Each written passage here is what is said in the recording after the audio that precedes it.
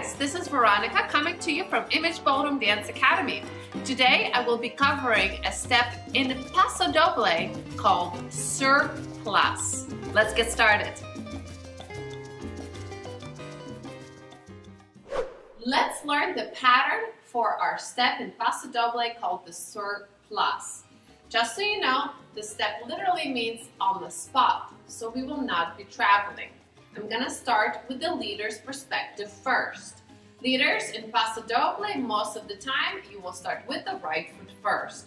I'm gonna use eight steps, but you can do also half and four. So here we go. You can go up also in elevation. So let me demonstrate. You're gonna march on the spot, raise the heels, and we go.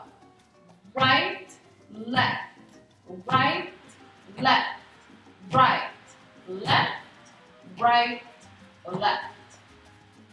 And now, the follower's perspective of the same step. We start followers with our left foot. Again, raise onto the balls of the feet and we start marching on the spot. Left, right, left, right, left, right, left, right. And that is the pattern for the sur place.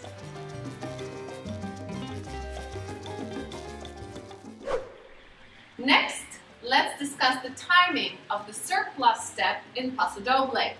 You are able to use 1 through 4, or if you'd like to make it even longer, you can do 1 through 8. And for our purposes today, for your practice, we're going to use count 1 through 8. So as a leader, I'm gonna start first with the right foot. So we go. One, two, three, four, five, six, seven, eight. And now I'm going to do the follower's perspective. We're gonna start with the left foot. One, two, three, four, five, six, seven, eight. And that is the timing for our sur place.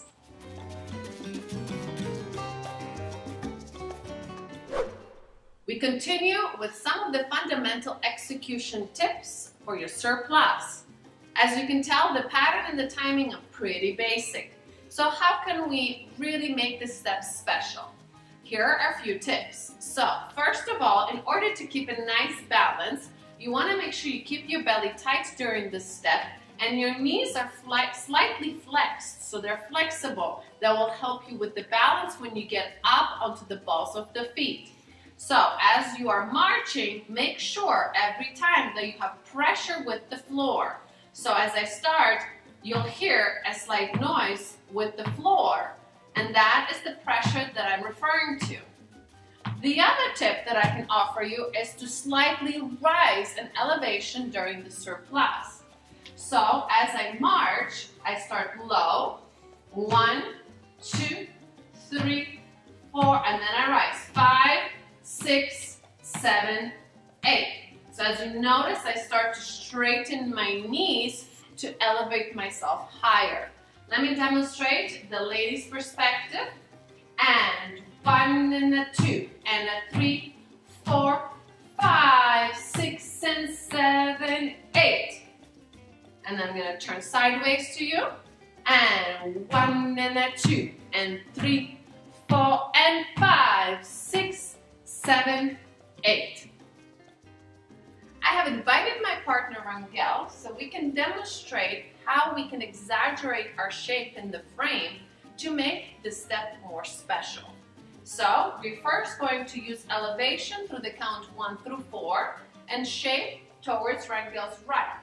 And then we're gonna lower ourselves and change the shape to the opposite direction in a lower manner. So here we go.